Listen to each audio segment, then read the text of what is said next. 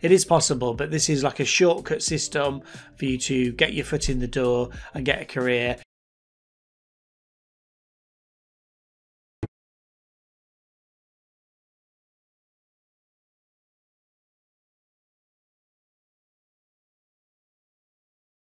Hey, it's Paul from howtonetwork.com here and also 101 Labs or 101labs.net. So, this is advice for those of you who are struggling to get a career in IT.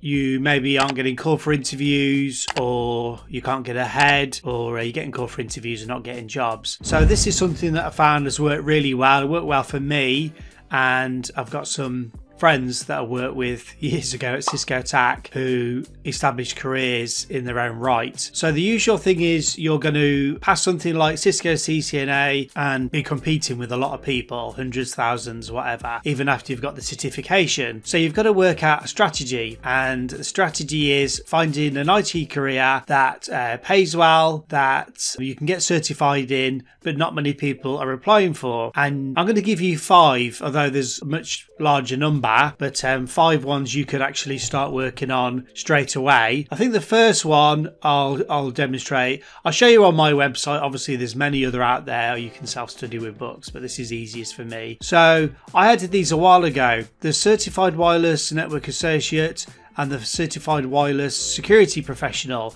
So, what I'm talking about is a career as a wireless engineer. You can support wireless, um, loads of companies sell wireless products, including Cisco, and some sell only wireless products, and they need to be supported. And they're not going to hire you without um, a certification. And the other thing is, nobody's bothering. I think there's a CCIE wireless, but that would take years and cost a small fortune to study for. So you can start with something basic.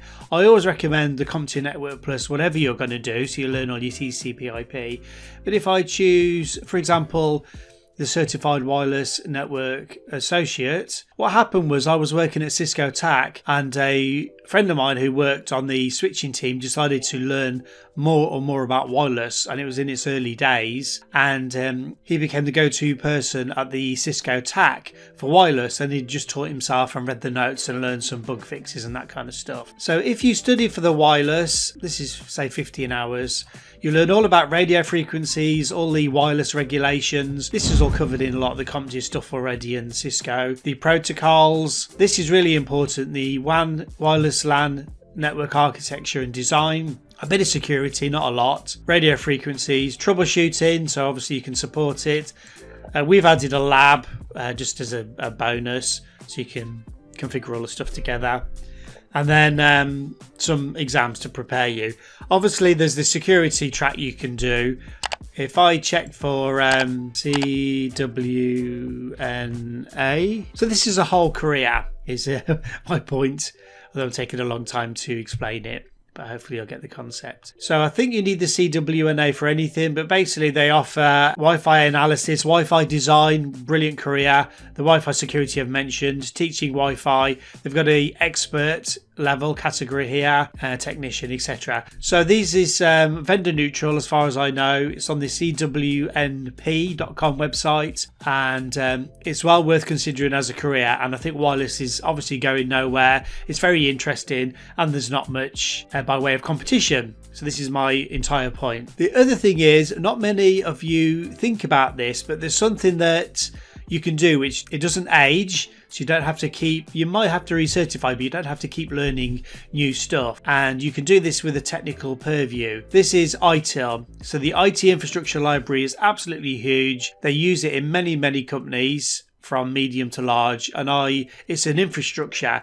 It's a way of supporting your uh, your company from an IT perspective. It's a way of troubleshooting problems. So it's a, it's a methodology rather than needing technical ability this goes from beginner to expert level so beginner intermediate expert we've got the foundations here you could probably consider doing this along with something like the CompTIA Project Plus so obviously this is project management but it does kind of um, dovetailing with ITIL as well. So look into it, consider it. Obviously, research for ITIL jobs in whatever area you're living in and project jobs. You can obviously do technical project management also. So this is something that IT people don't generally um, consider and though and so there isn't much competition is what I'm saying. Now the other one is I alluded to this earlier is design, network design. So the network designer plans the cabling, the IP addressing and the uh, design. So they generally use some sort of design tool, not like Microsoft Visio, but something like that, where you connect all of your devices together and you'll have a image that you can uh, refer to. And generally, you will hand that over to some sort of design assurance, and then the network will start to be built based on your designs. You don't get involved in any of the troubleshooting, the cabling, and all of the stuff that um, is probably a bit tougher. So, if you're considering that, you want to look at the Network Plus. Definitely uh, all the IPv6 stuff from beginner to expert level. And um, obviously, if it's wireless, I already mentioned this, there's a certified wireless design uh, certification here as well. So consider that as a, a career job. Look on the uh, websites again, the career websites for uh, design roles. Cisco don't offer that uh, anymore. There used to be the CCDA. We have it on this website, Cisco Design, but um, you know it's less technical. The other thing is looking for a um, niche within a larger niche, or if you're in America, niche, I think you call it. So you could learn Linux. Obviously, you're going to have competition because it's a popular topic, but you can actually drill down to a specific flavor. So look at the Red Hat. We're updating currently. We've got three modules up of the Red Hat Certified Systems Analyst. I think the A stands for, or Associate maybe. You can look for something that's very well recognized that not many people seem to uh, want to get uh, certified in. So the RHCSA, have I spelled it out in full? Oh yeah, administrator. So apologies for that. So this is being updated for uh, 2002 with the latest version of um, the Red Hat software. So um, consider that instead of just going, I'm going to learn Linux. And if you're going to learn Linux, I recommend you do the um, LPI Essentials, which is the baby exam if you don't know anything, and then jump into the Linux Red Hat.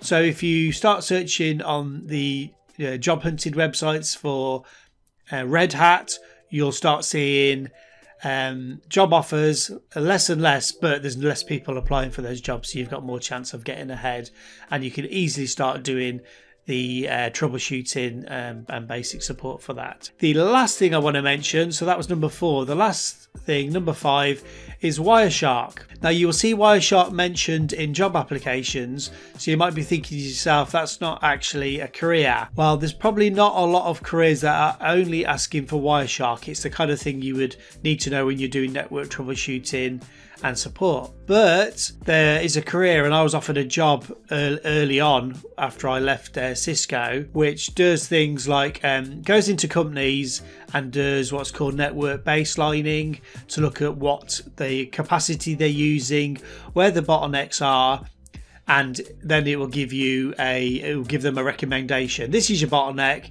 You need to upgrade this part of your network with cables or you need to add VLANs or a higher model server something like that. Now you won't decide that. You will just give the customer the information and then they will um, make their own decisions based on their budget and business. So, uh, Wireshark, I don't know how long this course is, it's six hours. It's a recognized certification. I don't think it expires, but please do check for yourself on the Wireshark uh, website. So, how to use Wireshark, but this is the thing you're going to be doing as a career or offering. You can do it as a freelance as well. And baselining a network and um, a network forensics overview, performance problems so people will complain the internet's running slow or DHCP's running slow, that kind of thing. You will provide them with data and graphs telling them um, why why it's happening. You can also do the same for IPv6, which is being added to the uh, syllabus. You learn all your TCP/IP in detail. You can dig into the packets and um, you know really have a, a deep um, understanding. And this is a, a, video here, so you can actually see inside the packets to and from and protocols. So um, you know, this is just some ideas because a lot of people are saying I can't get ahead, I can't get my foot in the door, not getting my interviews, or just not getting offers even after interviews. I know it's hard, it is possible, but this is like a shortcut system for you to get your foot in the door and get a career. And then, if you want, you can obviously then go with some experience to the standard kind of career route.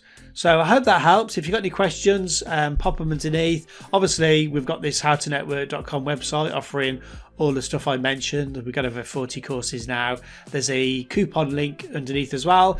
Or if you just want to watch my free videos and listen to me ramble on about uh, IT stuff, then please uh, hit the subscribe link and there's a bell also, and you'll see our videos at the top of your feed. All right, that's all. Thanks for watching.